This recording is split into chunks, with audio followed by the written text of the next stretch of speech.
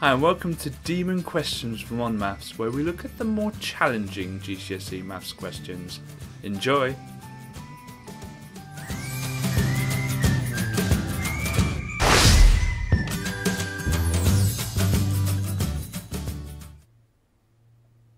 Hi, and welcome to Demon Questions from OnMaths. So, in these sessions, we are going to be looking at the more challenging questions. Now, these are the AO2, AO3 questions in teacher speak.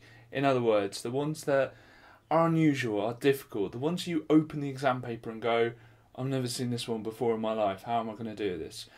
Hopefully, you have all the skills, and if you don't, then you go to onmaths.com and brush up on your skills. But you, you should have all the skills to be able to answer the question in these videos, we're going to show you strategies to be able to work out a question, work out what you're going to do, work out how to get the first mark, work out how to get started with these questions.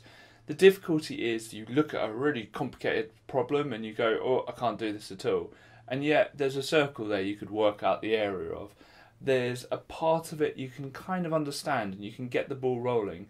They are very generous with early marks on this, and on the foundation, this is worth 25% of your marks, on the higher, 30% of your marks. So it's a big chunk of marks that this is worth, and we need to be getting. We're also going to be looking at more wordy questions, which again, on the foundation is 25%, on the higher is 30%. And this is uh, un- you're expressing uh, how you find out a method, you're proving something potentially, or you're showing why Jimmy is correct and all those kind of questions. So, um, the way you structure this is there's 20 marks on each demon um, paper. We're either doing non calculator or calculator, higher or foundation.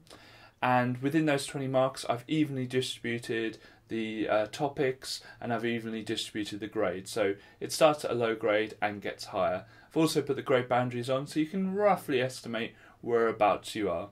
I hope you enjoy. Thank you. Okay, so in this question we say a well, we see that a square has an area of 121 centimeters squared, and we're asked for the perimeter of the square. So the first thing I would do is do a quick little diagram of this square, and we know that the area is 121 centimeters squared. Okay, so I know it's a square, so therefore the width or the base and the height will be exactly the same. Okay, and I know to find area, I do this one times this one.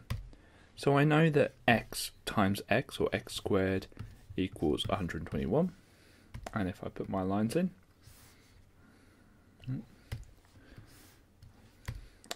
then I can square root both sides, and so x is 11. So I know that 11 times 11 is 121. Now, the temptation is to think, right, I've got the answer 11, but it's us, us for the perimeter of the square. So I know perimeter is the distance around the square, and each side is 11. So it's 11 plus 11 plus 11 plus 11, or 11 times 4, which is the perimeter, which is 44. So the answer is 44 centimetres. Okay, so this question says that we have an electricity bill and we have two readings um, from the um, electric meter. Uh, and we're given the price per unit, and we're asked to find out how much this person James paid.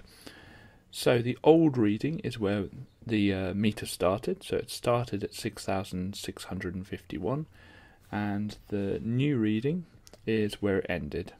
So the first thing we've got to do with this question is figure out how many units were used. So to do that, we're going to take them away from each other.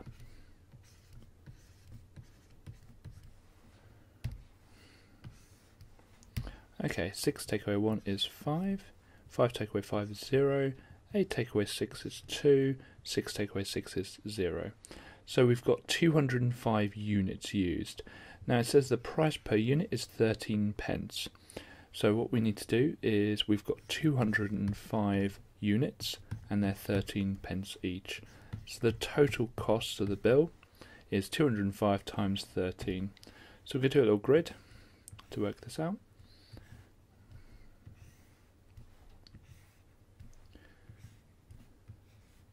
This grid looks a bit small. So 205, okay, 0, 10, so we don't need to worry about that column. And 13 is 10 and 3. So 200 times 10 is 2000. 5 times 10 is 50. 200 times 3 is 600. And 3 times 5 is 15. So we can add these together. Make sure you line them up nicely when you add them together. Otherwise it's very difficult to add them.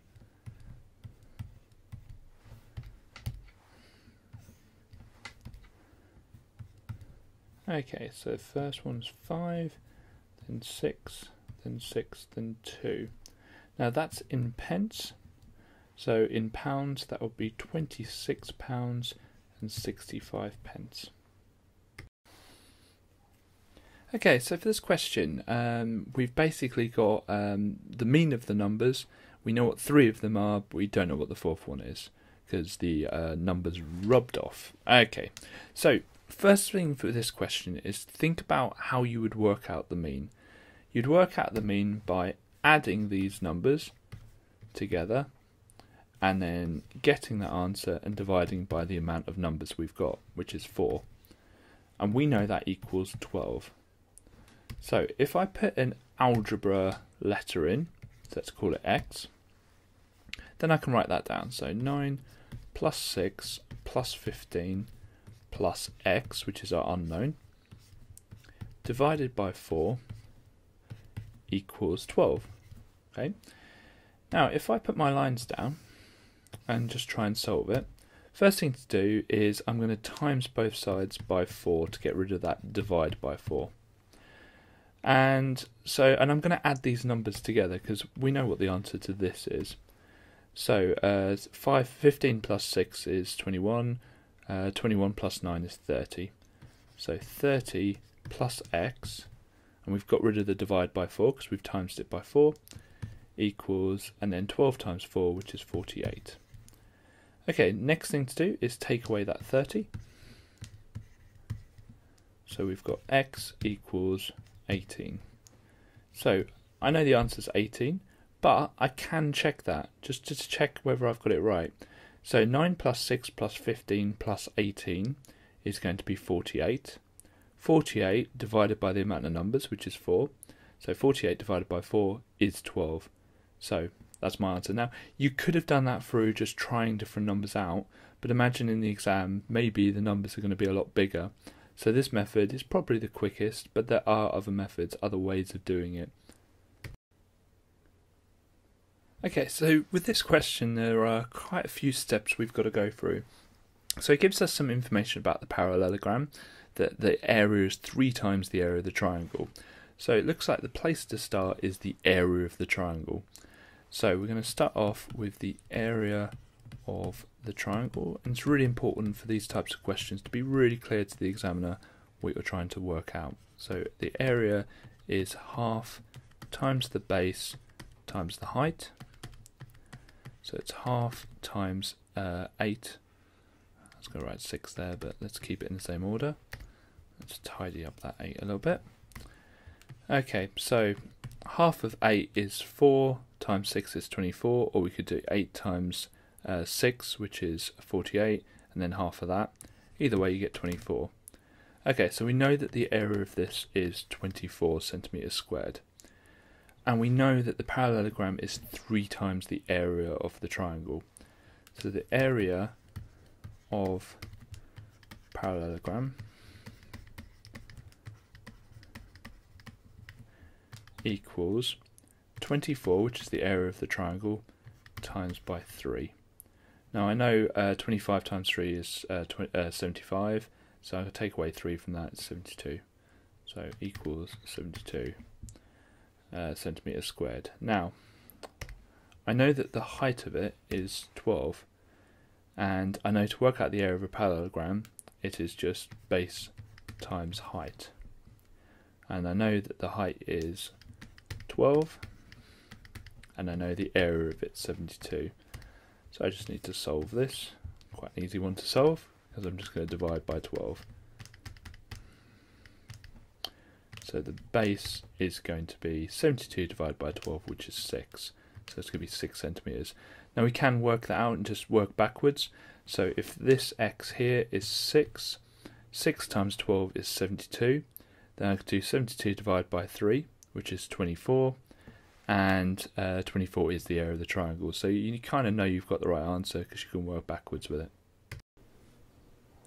For these types of questions, always make sure that you show your working, show how you know something is something. So the way I would start this, and this is not the only correct answer, is I realise that these two are the same. So I know that 2y minus 50 equals 52. The reason I know that is that they are corresponding angles.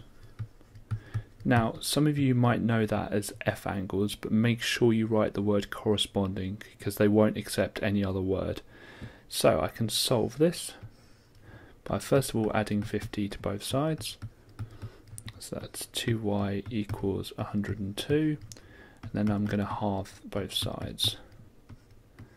So y equals 51.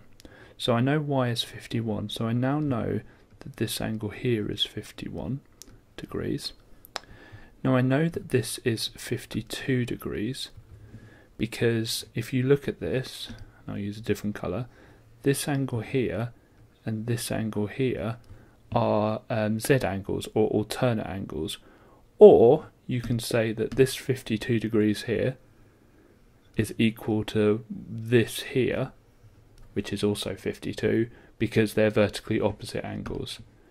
So I know that this one here, and I could call it a letter on the diagram, so I could say C. Uh, I don't think there's another C, so C equals 52, and show the examiner, right, that's because, well, let's go for alternate.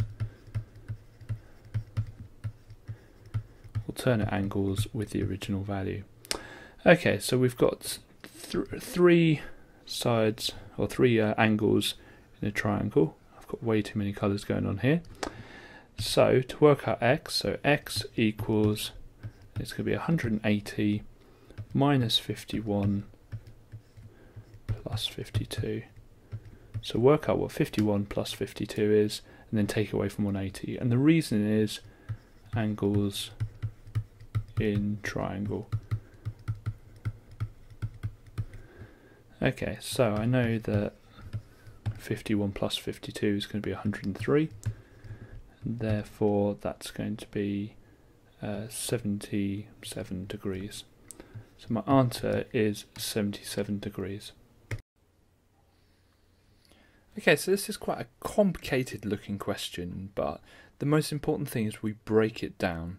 So it says a circle is drawn inside a square. Square has a height of 12 centimeters. So the first thing to is, is it's a square. Therefore, the width is also going to be 12. And be careful to look out for that. Whenever you've got a square, they might only give you one of the dimensions. They won't always say it's a 12 by 12 square. Okay, so you've always got to assume that the other one, or you've always got to know that the other side is going to be the same. Okay, so let's work out the shaded area. So the thing we notice is it's like a quarter of the square, but with the circle removed. Okay, so first thing to do is work out the area of the square. So area of square. Okay, so the area of the square is going to be quite easy. It's going to be 12 times 12, which is 144 centimeters squared. Okay, next thing to work out is the area of the circle. Okay, now this you need to remember the formula, which is pi r squared. Okay, and that you do need to know because they're not given that in the exam. So it's going to be pi times, and now what is the radius of that circle? So the radius is halfway across the circle. Now the circle has the same height as the square, or the same diameter uh, as the square's height, okay? So the radius is half of that, so it's going to be 6. So it's going to be pi 6 squared 6 squared is 36, and we write that as 36 pi. Okay. Now, it's a non-calculator question, or it could be in the non-calculator, it could be in either, okay, but it does ask us to give our answer in terms of pi, so we're not going to go any further than that, we'll leave it as 36 pi. Okay, so we need to work out the area of um, all of the outside, okay, so we're going to do all of the outside, okay, including this shaded bit, okay, so area outside circle. So I'm trying to show the examiner that I'm working out the area um, that I've shaded in red.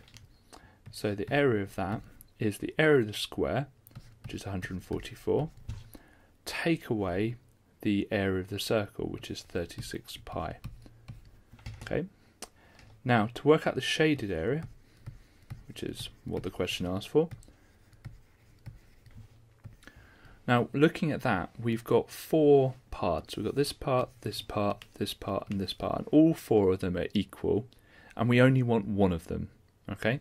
So, to work out the shaded area, we get our answer from before and we divide it by 4. So, we're going to divide the 144 by 4.